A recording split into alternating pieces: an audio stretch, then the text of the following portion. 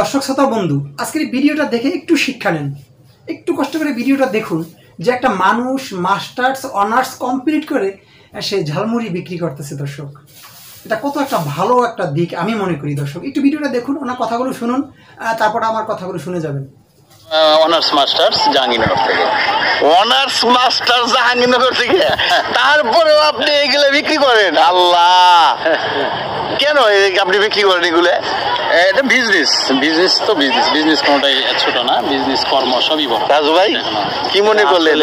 জাহাঙ্গীরনগর বিশ্ববিদ্যালয় থেকে honours complete করছেন? মাস্টার্স মাস্টার্স কমপ্লিট করছেন? জি। জাহাঙ্গীরনগর বিশ্ববিদ্যালয়ে কিন্তু অনেক ছাত্র আছে। আপনার ফ্রেন্ড আছে। হ্যাঁ আমার ফ্রেন্ড সার্কেল দেখা হয়। এই সবারই তো আছে অনেকে। যে আলমাস এখানে আমার তারা বলে না যে তুমি ভাই এগুলো কেন করো? এত আপনি তো ভালো চাকরি করতে পারতেন। হ্যাঁ। হ্যাঁ তারা বলে না। আমার আসলে চাকরি পছন্দ না। আসলে চাকরি ভালো লাগে না। চাকরিতে আর কি একটা ডোমিনেট করার প্রবণতা থাকে। আমি চাই না যে আমি আমাকে কেউ ডোমিনেট করুক। আমি স্বাধীন চেতা লোক। স্বাধীনভাবেই আমার স্বাধীন পেশাই ভালো লাগে। চাকরিটা আমার অপছন্দ। লাগে এই জন্য চাকরিটা আমি কিছুদিন করছি তারপরে বাদ দিছি ওখানে আমার মানে আমার ডিসলাইক করি আর কি। আমার। পছন্দ হয় না। ব্যবসাটা আমার খুব ভালো লাগে এটা আমি ট্রাভেলিং করি। ট্রাভেলিং করি যে অন্যান্য মানুষের সাথে আমার কমিউনিকেট হয় যে জন্য আমার এটা আমার ভালো লাগে আমার মানসিক স্যাটিসফ্যাকশন সব দর্শক ওনারা কথাগুলো থেকে আপনারা কি বুঝতে পারলেন? যে কোনো কাজকে ছোট মনে করা উচিত নয়? বা চাকরি? পৃথিবীতে কোনো মানুষ কি চাকরিকে ভালো নজরে দেখে? আমার মনে হয় না, কারণ চাকরিটা আমরা বাধ্য হয়ে করি। আমরা পেটের জন্য করি, বাঁচার জন্য করি, সমাজের জন্য করি। কারণ চাকরি না করলে মানুষ ভালো বাসে না। আর এই লোকটা চাকরি পাওয়ার পরও চাকরি ছেড়ে দিয়ে উনি ঝালমুড়ি ফুচকা বিক্রি করেন, দর্শক।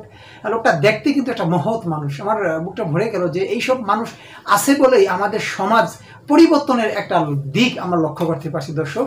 এই লোকটা জাহাঙ্গীরনগর বিশ্ববিদ্যালয় থেকে অনার্স, মাস্টার্স কমপ্লিট করে চাকরি ওনার ভালো লাগে না, চাকরির ভিতরে একটা আলাদা বাধ্য, বাধ্যবাধকতা থাকে, চাকরির ভিতরে আলাদা একটা হুকুমদারি থাকে। এই জন্য উনি কী করতেছেন? উনি ঝালমুড়ি বিক্রি করে রাস্তায় রাস্তায় প্রতিদিন পাঁচ সাতশো টাকা ওনার থাকে, এ দিয়ে উনি সংসার চালান।